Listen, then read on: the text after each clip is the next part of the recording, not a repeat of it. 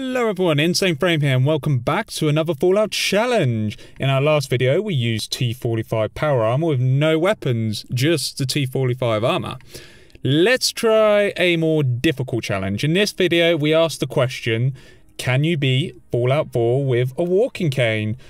So with the gauntlet set, let's explain the rules. We can only use the walking cane as a weapon we may only attack using a walking cane.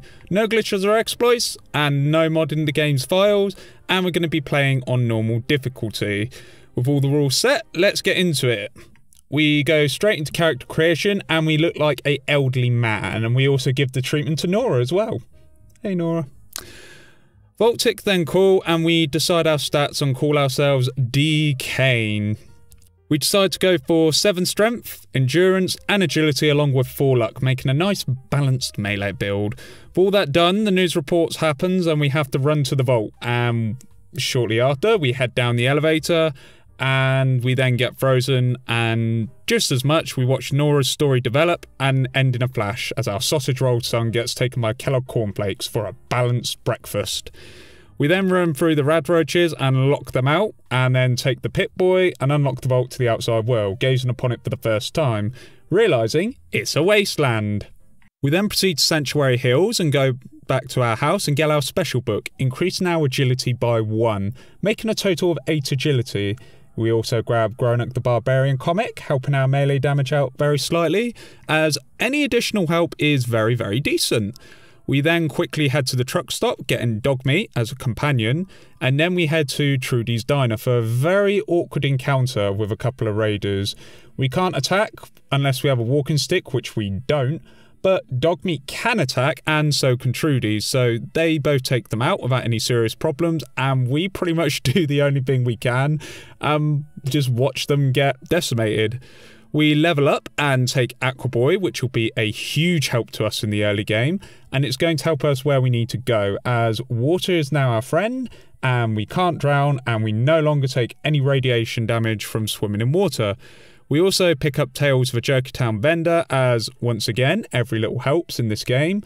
And this building in particular has water behind it, and that is the start of the river heading out into the ocean. So we do exactly that and start swimming, and we continue until we get to the old amphitheatre, which just so happens to have two walking canes. So we pick up our walking cane, and now we can attack. We quickly go back to a truck stop and upgrade our walking cane to a barbed wire walking cane. This is the weapon we will be using for the rest of the run. It really can't be upgraded any further than this, but it's the best we got, so we make do. We then quickly go to Diamond City and test our walking cane on some super mutants. We level up in the process and get the armor perk rank 1. So with the armor perk, we can upgrade most of our armor, but this will become very important later on. We then get to the entrance of Diamond City, and Piper is doing her regular speech as usual but it gets the gate open and we walk straight on in. We also do Piper's interview, keeping it positive for the most part. After all, she was nice enough to get the gate open. We then go to Nick Valentine's detective agency and speak to his assistant Ellie. We have to go rescue Nick from Skinny Malone and his Trigger Happy gang members. But we level up and get the Big Leagues perk rank 1, meaning we do an additional 20% more damage with melee weapons, which is absolutely fantastic. However, sidetracking from the main quest, we need some armour, and of course the best armour is free, so Aquaboy comes in handy once again as we swim all the way to Jamaica Plains. After dying a few times, we make it to the top of the church and find a sleeping bag inside, and this helps regain our hit points. We also encounter a Mr. Gutsy with one arm, which I have to confess I've never actually seen before in the game, because they usually have three arms, but this guy is kind of unique, I guess. Anyway, we go back to church, take out some ghouls whilst also leveling up, and getting a perk called Idiot Savant. Since we have one intelligence, this will be helping us a awful lot. Anyway, now for the reason we actually came to Jamaica Plains in the first place, we take out some ghouls, mainly by sneak attacking, and use our criticals. But then we find a person named Soul who has exactly what we are looking for a full suit of combat armor. This helps us in leaps and bounds and will definitely aid us in a monumental way, especially in the early game. It's time to go rescue Nick, so we decide to go to the Triggerman hideout, and our combat armor holds up no problem, making this fairly easy whilst we're being very cautious not to take machine gun fire. We eventually get to Nick and we agree to help him out, and shortly after, we run into Skinny Malone and Darla. We simply use VATS and we managed to make this fight swing in our favour, along with having Nick and the cute and adorable Dogmeat. We get back to Nick's office and answer Nick's questions, and we then go to Kellogg Cornflake's house, which is locked, but we pickpocket the key from the mayor and gain access. Following this, we press the button under the table and open up a awesome little secret room, which means we can start tracking Kellogg cornflakes.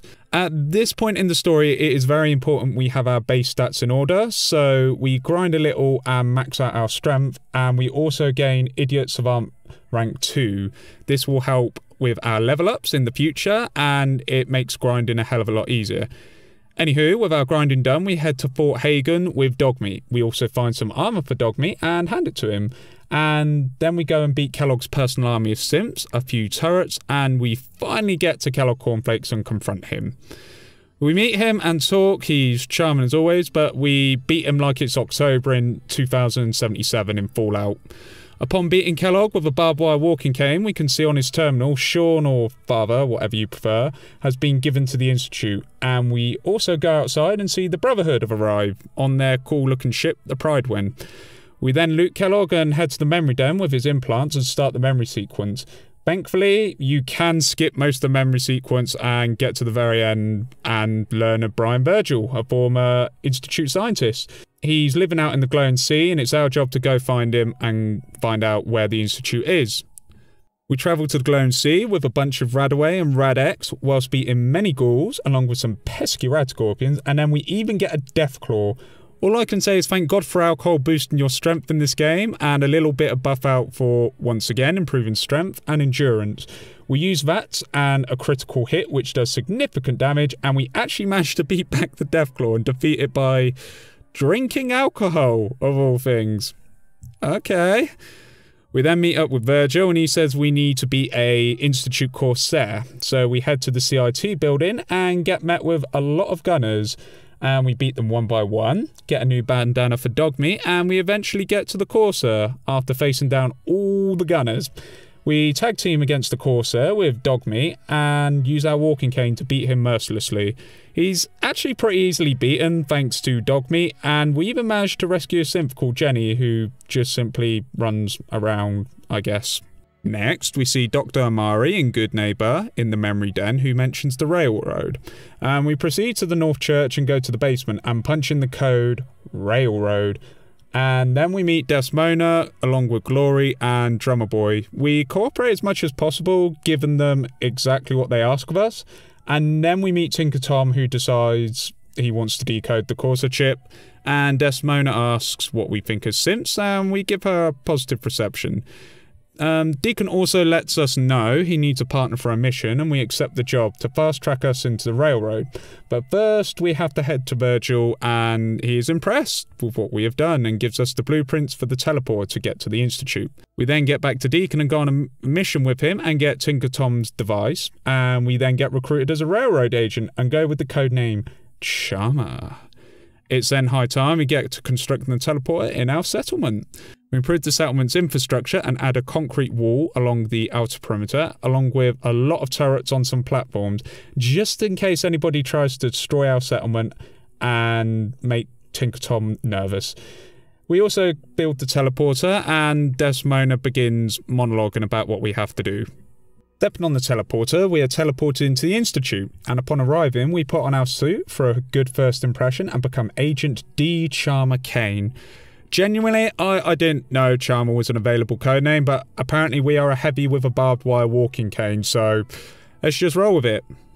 Anyway, we upload the holotape and use the lift whilst Father monologues about the Institute, and Agent Charmer descends. We then meet with the child's synth, and father reveals he is Sean, and we both look like a similar age group. Not going to lie, this is quite strange but cool in a weird way.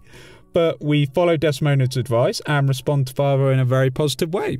We then meet with Patriot in a storage cupboard, whose name is Liam Bennett, and we then meet with Z114, who is a synth, who wants us to release a large group of synths in one go, but we need to get a pre-war password. We also uphold our word with Virgil and grab his serum, and shortly after, we meet with all the Institute directors, and we also get a Courser chip installed on our Pip-Boy, which is awesome because that allows us to go, come and go as we please from the Institute.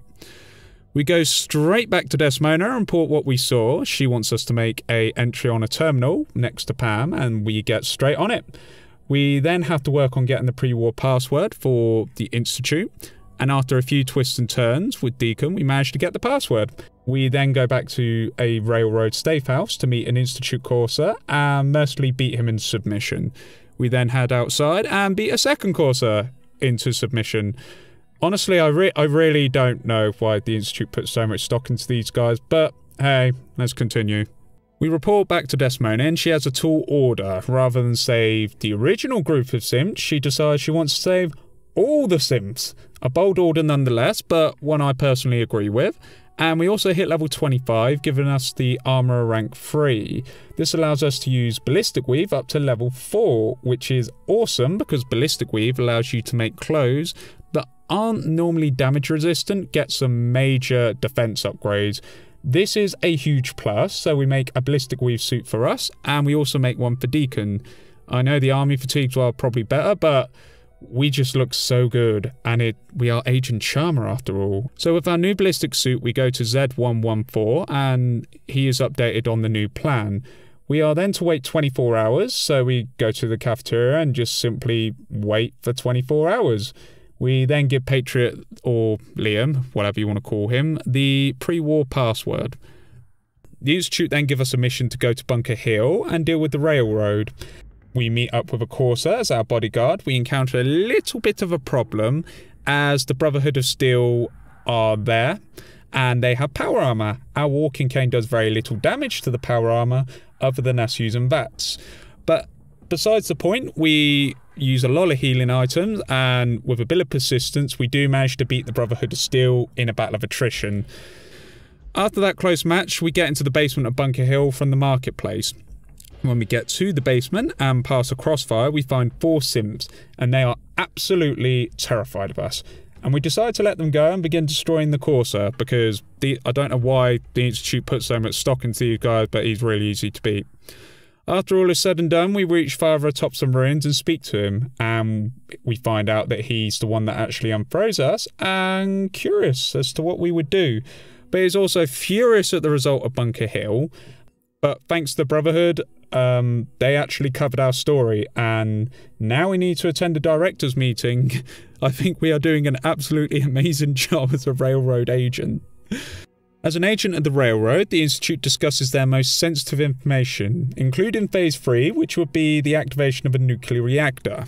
Father then states he is unwell and that he is dying, so he appoints us as his successor, and that concludes the meeting. FYI, Father has just put a railroad spy or agent as the next leader of the Institute. This is madness, and it is too good to be true. We then deposit more weapons for our synth colleagues and we speak to Allie, their head of engineering. She wants to go to the surface and accompany Agent D. Charmer and Agent Deacon to get a item. We arrive at the mass fusion building and we take on the Brotherhood once more. On our way to the reactor, we also commandeer some T 60 power armor from a Brotherhood of Steel Knight. We face more Brotherhood of Steel personnel, then take the power armor to the reactor. We then take the beryllium agitator, and we then leave the T-60 power armor. We then have to face a Securitron droid and two Assaultrons. We take some Psycho to prepare for the fight, and that increases our damage by 25%. We nearly die, but we manage to walk away. And we also get Critical Banker letting us use two criticals in combat now. We then return to the Institute and we are debriefed by Father, who is proud of us and still unaware of our intents. Another meeting is then called, but this time we get to chair the meeting as a railroad agent. I think it's fair to say we are doing a fantastic job as a railroad agent. to our surprise, the Institute want to go to war with the Brotherhood, which is exactly what we wanted to hear. And we increase synth production to help our rebellion, but also to help the war effort, while none are the wiser. We then talk to Z114 and he lets us know that the Brotherhood of Steel know the railroad's location. We hightail it back to Railroad HQ and we let Desmona know about the Institute's plan to assassinate her. We then also let her know that the Brotherhood know the base's location, proving we are truly loyal to the Railroad. We then get the Brotherhood breaching into the Railroad's HQ, and to be honest, we destroy them fairly easily. Deacon also takes a minigun from the Brotherhood Knight, just God bless this man. We see Glory dying and we promise her to save all the synths, and Agent Deacon walks in and agrees. We drink some wine to improve our strength and we begin flushing out the Brotherhood of Steel Knights from Railroad HQ. We then talk to Desmona in the church. She wants us to find a vertibird and take the fight to the Brotherhood and begin Operation Red Glare. We go to the Cambridge police station and take out the Brotherhood of Steel soldiers with Agent Deacon. We speak to Tom and he says the station is crawling with Brotherhood of Steel soldiers. But we go straight to the roof to get the vertibird because we've already killed them. And upon arriving to the roof, Tom gives us some explosives to use on the Pryden before we get there. But we can't celebrate yet because more Brotherhood of Steel soldiers arrive from a vertibird.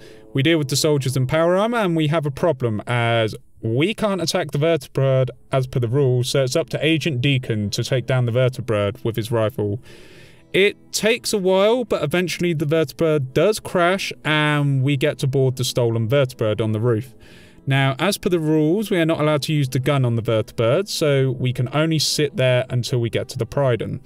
When we get to the Pryden, we have even more personnel on the hangar deck, and we get to work dispatching the personnel. We then get inside the Pryden and have a ridiculous fight.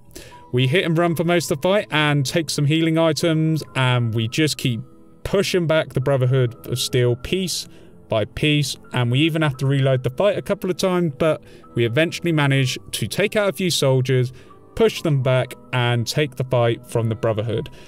Note to self, a cane is not a good weapon against the Brotherhood of Steel people, but we place the explosives and try to get away. But Elder Maxon is waiting for us with two soldiers, one with a missile launcher and one with a minigun. And I believe he has a laser Gatling gun.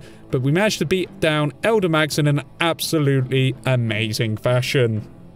We board the vertibird once again and we watch the Pryden explode in absolutely glorious fashion. We then go ahead and report to Desmona and she wants us to now take the fight to the Institute. We meet with Z114 and quickly deal with the guards at the entrance so we can teleport our friends in. Desmona arrives and then hands us a bomb to put on a reactor. We immediately head into the tunnels and begin our attack. We beat a few synths in the tunnels and get to the back entrance into BioScience. We also get to fight some gorillas and then we wait for everybody to destroy the turrets because we don't have a ranged weapon so we have to wait for the NPCs to shoot them. We go to the main plaza and wipe out even more synths and Tinker Tom says we need to get the door open. So this procs us to go to Father's room and we see him dying and he really isn't happy with us we do a back and forth, but um, we issue a evacuation order from his terminal and save the synths, and then we lift the lockdown as well. We then head over to the reactor and destroy some more units, and go to the reactor and plant the bomb. We then get teleported to the Institute entrance, and our Synth son calls out to us, the one we met who is we thought was Sean, but then father revealed himself. Anyway, we let him come with us, and we are teleported once more to the detonation site with Agent Deacon and Desmona. We push the button, and that ends the run, which answers the question Yes, you can beat Fallout 4 with just the walking cane as your only weapon. Well, that was a brutal run, but it was a lot of fun and true to the point. I've never actually completed the game with the railroad before. I've got to say, it was a pretty cool storyline. But it's safe to say the Brotherhood of Steel were definitely the most difficult faction to deal with, just simply because our damage output wasn't all that great against them. But it did pose a challenge, and that's all part of the fun. Also, I'd like to say I'm very, I'm really sorry this video was late, but um, thanks for being decent about it, and I hope you enjoyed it. I, I know I sure did, but our next Fallout challenge is going to be just as brutal. We're going to go back to New Vegas and see Can we beat the game using only Benny's pistol Maria? So like the video if you like the video, comment down below, and if you have any ideas or anything, I'd love to hear them. Subscribe if you're new, and I've been Insane Frame. Thank you very much for watching. I hope you have an excellent day, and hopefully I'll see you in the next video. Bye bye for now.